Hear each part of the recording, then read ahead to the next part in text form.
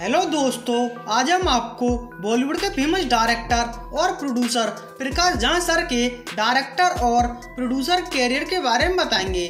प्रकाश झा ने उन्नीस सौ चौरासी में आई मूवी हिप हिप हुर्रे से अपने डायरेक्टर कैरियर की शुरुआत की थी। इस मूवी के लीड कास्ट में राज किरण दीप्ति नवल और सभी ईमानदार शामिल थे और कलेक्शन के हिसाब से यह मूवी एवरेज रही। उन्नीस में प्रकाश झा की मूवी आई, दामूल। इस मूवी के लीड कास्ट में अनु कपूर, मनमोहन सिंह और दीप्ति नवल शामिल थे और कलेक्शन के हिसाब से यह मूवी फ्लॉप रही। उन्नीस सौ नवासी में प्रकाश झा की मूवी आई, परिणाती। इस मूवी के लीड कास्ट में नंदना दास, बसंत और सुधीर कुलकर्णी शामिल थे और कलेक्शन के हिसाब से यह मूवी बिलो एवरेज रही। उन्नीस सौ छियानवे में प्रकाश झा की मूवी आई बंदिश इस मूवी के कास्ट में जगह श्रॉफ जूही चावला, शिल्पा जलोलकर परेश रावल शामिल थे। इस मूवी का बजट दो करोड़ पच्चीस लाख रहा।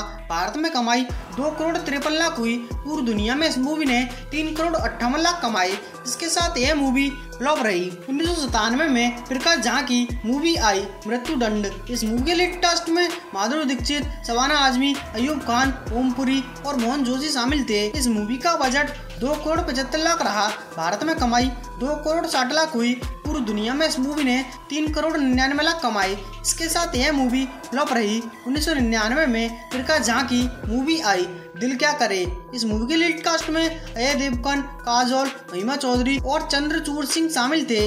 इस मूवी का बजट 9 करोड़ रहा। भारत में कमाई 8 करोड़ पचानवे लाख हुई। पूरी दुनिया में इस मूवी ने 16 करोड़ सतासी लाख कमाए। इसके साथ यह मूवी फ्लॉप रही। 2001 में प्रकाश झा की मूवी आई राहुल। इस मूवी के लीड कास्ट में जितेंद्र गरेवाल रायश्वरी सचदेव और नेहा शामिल थे।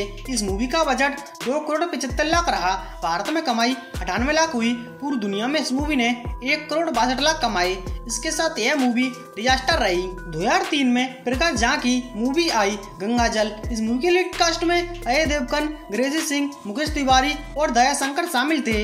इस मूवी का बजट सात करोड़ पचहत्तर लाख रहा। भारत में कमाई दस करोड़ अड़तालीस लाख हुई। पूरी दुनिया में इस मूवी ने चौदह करोड़ तिरानवे लाख कमाई।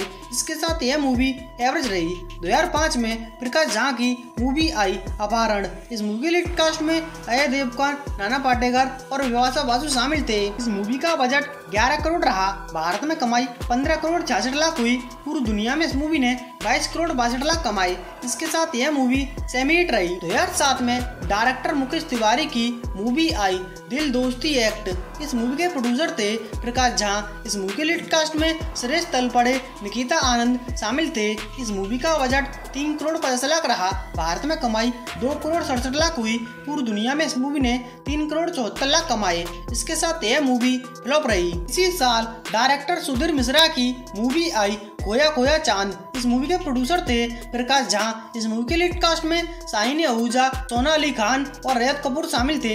इस मूवी का बजट पाँच करोड़ पैंसठ लाख रहा। भारत में कमाई दो करोड़ अस्सी लाख हुई। पूरी दुनिया में इस मूवी ने दो करोड़ अठासी लाख कमाए।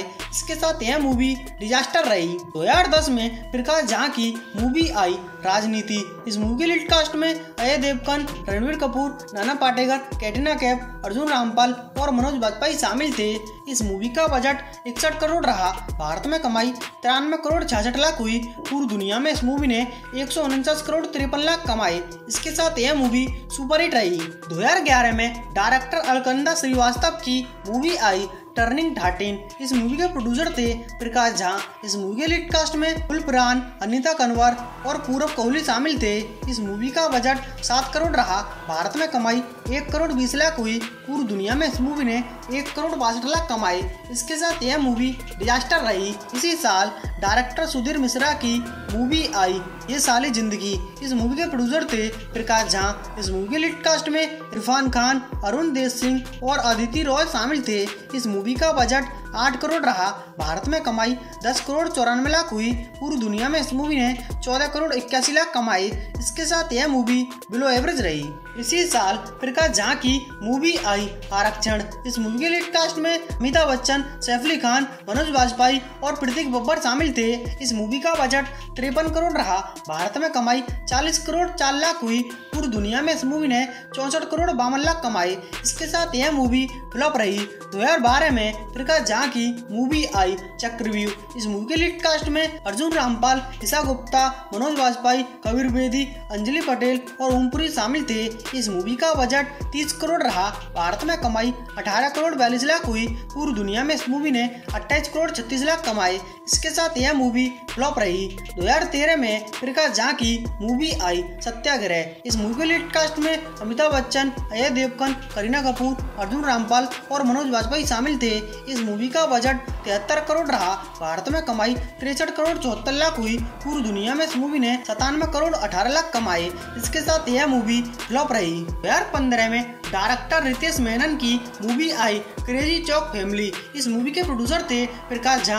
इस मूवी लीड कास्ट में शिल्पा शुक्ला, नौरा फतेह शामिल थे। इस मूवी का बजट पाँच करोड़ रहा। भारत में कमाई बत्तीस लाख हुई। पूरी दुनिया में इस मूवी ने चौवालीस लाख कमाई इसके साथ यह मूवी डिजास्टर रही।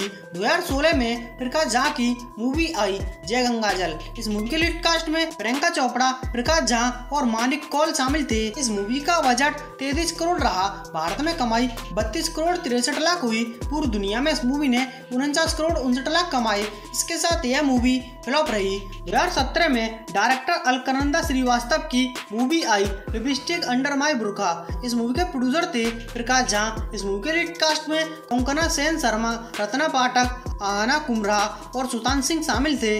इस मूवी का बजट सात करोड़ रहा। भारत में कमाई उन्नीस करोड़ इक्कीस लाख हुई। पूरी दुनिया में इस मूवी ने इक्कीस करोड़ छप्पन लाख कमाई। इसके साथ यह मूवी एवरेज रही। 2019 में डायरेक्टर सौरभ श्रीवास्तव की मूवी आई रोड सैया। इस मूवी के प्रोड्यूसर थे प्रकाश झा। इस मूवी के लीड कास्ट में अरशद वारसी फ्लोर सैनी और सौरभ शुक्ला शामिल थे। इस मूवी का बजट 25 करोड़ रहा।